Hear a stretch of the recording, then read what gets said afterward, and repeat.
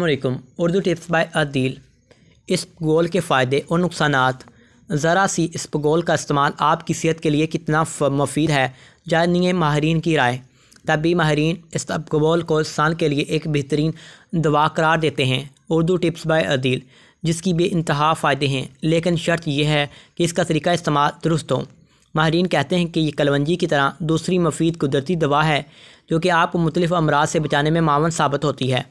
फ़वाद इसबगोल कब्ज़ के मर्द को दूर करने में मदद देता है और स्टोन का अखराज करवाने के हवाले से भी मददगार साबित होता है। ये डायरिया को ख़त्म करने में अहम है। इससे जिसम को राहत मिलती है। इस इसबगोल खून में शुगर लेवल को कंट्रोल करने की सलाहियत रखता है और इंसुलिन इंसुलिन को बरकरार रखता है और साथ ही कोलेस्ट्रॉल को बढ़ाने, बढ़ने नहीं देता। बार बार भूख लगने से निजात और वज़न में कमी का बास बनता है। दिल की बीमारियाँ और ब्लड प्रेशर को कंट्रोल रखने की सलाहियत रखता है। नुकसानात भी नोट कर लीजिएगा। इस गोल का छिलका ज़्यादा खाने से जल्द ही बढ़ापा आ सकता है। इसको पानी के साथ इस्तेमाल करें, क्योंकि सिर्फ़ इसको फाँक लेने से आपको दम घुटने की भी शिकायत हो सकती है।